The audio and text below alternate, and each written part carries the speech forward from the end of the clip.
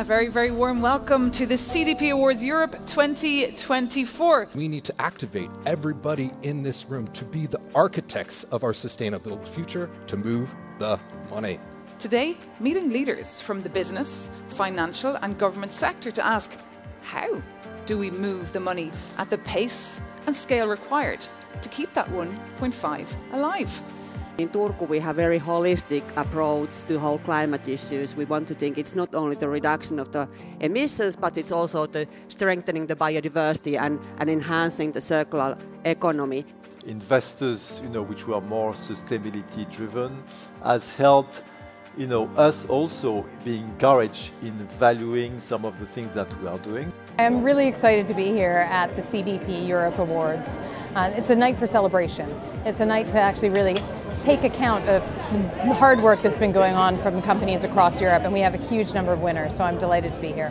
We are very happy because for the second year in a row, we won the AAA, and we are there not only to celebrate also, but to, to listen with colleagues, you know, to discuss with colleagues, to see what we can do better, and to be sure that we get, you know, next year, again, the AAA. Being AAA for the eighth consecutive year in a row is a great source of pride for all the company. We have 90,000 employees and they're all extremely engaged towards our sustainable journey.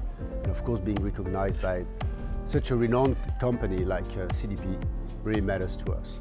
I think that when CDP started 23 years ago, we had to really encourage the fact that data and transparency and disclosure was an important part of how we manage climate change. We don't anymore. Actually now there are companies who are really pushing the envelope and really trying to make sure that their disclosures are complete and fulsome. That is actually incredibly important so we can measure and we can manage. And that's the way that we can make positive climate change. You cannot, you know, walk the talk if you're not able to measure exactly what you are doing. And this is extremely important also in the way we decide. You know, when we do, in our industry, you do a lot of innovation, a lot of innovation.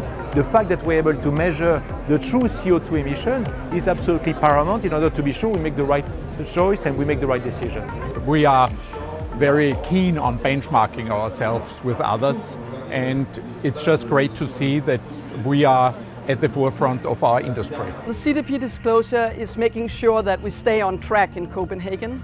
Um, the way that we keep working together with international organizations is a way that we can make sure that we benchmark ourselves with other cities around the globe.